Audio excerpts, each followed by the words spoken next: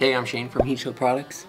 Uh, here's a little how-to video on how to install our power anchor kits. They're available in two kits. They come in a 10 and a 20 pack. It comes with the washers, the rivets, the lacing hooks, and the wire. So we're gonna do some power anchors on this piece of Heat Shield armor right here from this uh, kit for this cat. Mark where you wanna put your hooks. We're gonna do six on here.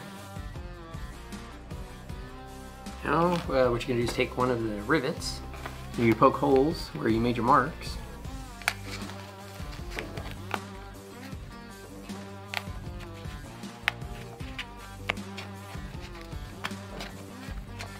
You grab your rivet gun and put a rivet inside there, load it up. Then you take one of the washers and then you're gonna push it right over the, the rivet.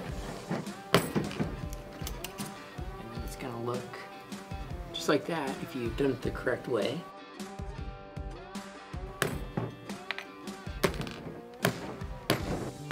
Take one of these, gonna load it into the gun.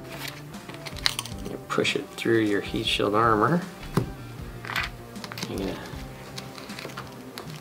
Load your lacing hook on there.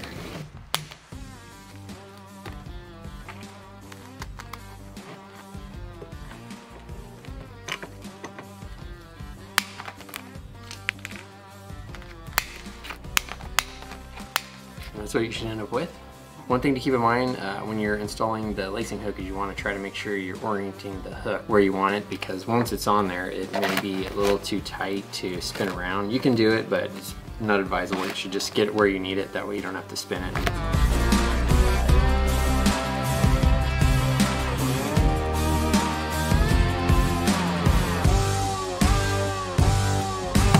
should look like once you uh, have your piece secured with the lacing hooks on the wire.